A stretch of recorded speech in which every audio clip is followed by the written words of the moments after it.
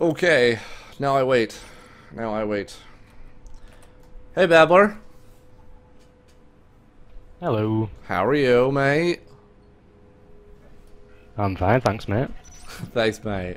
Um, so I'll get this started. This is uh, this is Babbler Bukaki from Pink Fluffy Gorges, who just took it against three to one against Ta. Um, can let's just start out with the most basic question: How did everything go? Um, I think it did pretty well from all three matches. Last match, the loss was primarily due to me, but everything else was absolutely brilliant. Were you at all impressed on how the aliens c- carefully worked around your scans? I saw you trying to scan. You were trying to go for it, but uh, they saw that and they were trying to work their way around it. They were trying to avoid getting scanned down. Oh yeah, I could definitely notice that they were trying to pull off some sneaky business. Um, I don't know. Maybe I should have kept the scan up on pub. I think that's where they came through. I didn't really see where.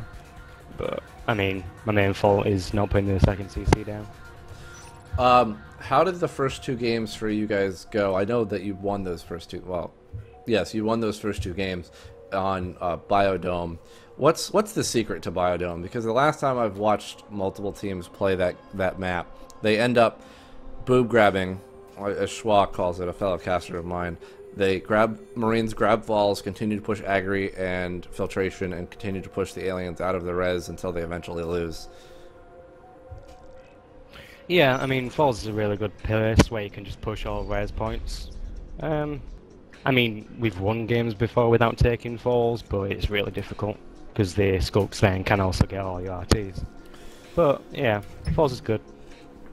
I liked that um, that sneaky second obs tower you guys had in Falls for that missed, you know, that distraction obs. Yeah, I know. That was really Um, nicely done. Second obs is always good. A backup is uh, necessary sometimes. Had that base rush failed, were you going to move those arcs into security and just arc the hive from behind? Oh yeah, definitely, most definitely, yeah. Um, I don't know. Second CC again. We didn't have nano shield either, which didn't help, and I usually get that. Uh, I think that's about it. Are, are you happy with? Uh, how do you think Ta did overall? Um, marine base relocate is questionable at times. Uh, this alien round wasn't that bad. Previous one was good for them, I think. But yeah, I'd rather it if we took all matches, to be honest. Okay. Um, is there anything else you have to say? Anything you want to add? Uh, no, not really. Awesome. I think I also have a member, Tootie. Is that you? Yeah, hello.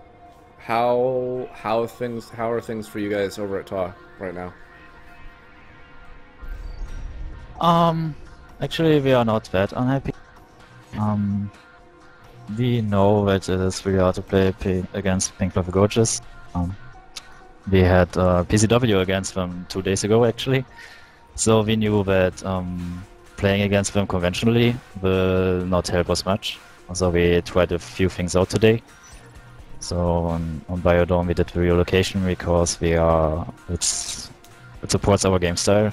We we are an aggressive team. Maybe we are just not capable of playing defensively, but uh, that supports our game style. So we did that there. Um, actually, it is it is a pity that our that our plan on Jambi did not work out. It's not because that power node was not dropped. I just learned that this will not drop when if you if you place a CC. But um, actually, we had planned something differently, and but our commander forgot to to drop the CC there, and then uh, our nice plan went to hell. I'm But curious. it was nice to see that. Go ahead. Go ahead. You're curious about what? Oh no, I was curious about the base relocations. You said that you were trying to play unconventionally. Um, the base relocations are a little risky in my eyes. You know, they, they allow you some, some map control in that you're you're centrally located, but it, on the same token, the aliens, as you know, on either team, really just allows the enemy team to expand exponentially until you can stop it.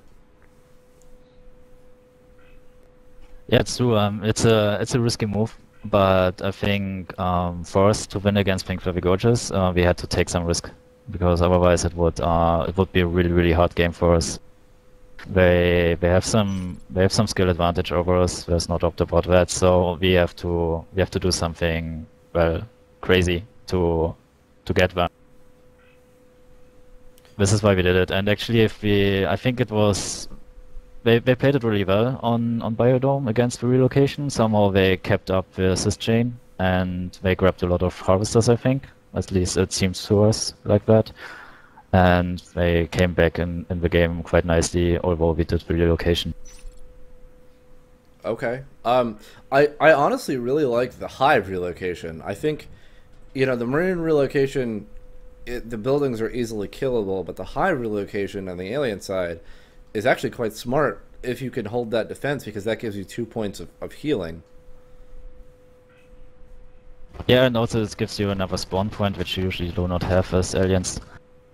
Um, we can, with two gorges, we can also shut down repairs and X. So they spend a lot of effort to get through and repairs, which gave us a lot of time in the in the backyard in Pipeworks, Oxy, and Waste, and Bathing even to to grab some harvesters and get the fades out.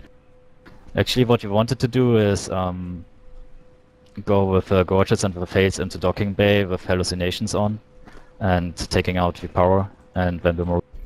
So, but we arced our hive and pipeworks, which also threw us back because the gorge upgrades were gone then. So that was a bit uh, not so nice by Pink Fluffy Gorges, but of course well played by them. So we had to we had to try a base rush anyways with only the one hive and mucus, but it also worked, so it was nice. I was watching you do that, um, and so was so was PFG. They were keeping an eye on you. I, I was actually quite impressed on how you avoided the scans. You uh, that one fade got caught by the scan, so you I kind of saw the communication, you know, body movement wise go where you were sort of communicating like, oh, I've been scanned. Okay, I'll just fly over here and go over here and make it look like I'm doing something else. And then the other two fades were just like, oh, we're just gonna hang out here, and you know, didn't get scanned. Um, and then, you know, were you just trying to avoid that? Was that what you were trying to do? Yeah, this is exactly what he communicated. I saw the scan drop and I said to Gerber, stay back, I will just go to supply lines and play it a bit stupid. You know, you never fades. I should hit RT, but if you're desperate, you might do it. So I just went in there and, and hit RT a bit, waited until the beacon went off, uh, until the um, scan went off. But then he scanned again, so we had to wait again. Uh, I think unless there's anything else you want to add, do you, are you happy with how things went today? Even though you, you lost three of your games, are you happy with how Todd did? Um, personally, I am I am still happy, yeah, because we won that one game, and um, I think I think we might have got here in, with our with our relocation to gravity as marine rounds because actually it wasn't supposed to be a, a relocation, but um, yeah, we did some our com actually. So, but I'm I'm happy with him too. See, he did well today, but uh, that one thing was a bit was a fault by him. I think he has to take responsibility for it. But um, overall, I'm I'm quite happy. I'm happy we took one round, and uh, I'm I hope we can play Pink Fluffy Gorges again soon. Awesome. Um, I thank you both for talking with me. Uh, I think I'm done for today. Uh, this is Loopcaster to all the stream. Thank you for joining me. I hope you guys enjoyed yourself. This is Loopycaster signing off. Have a good day, gentlemen. Thanks for custom.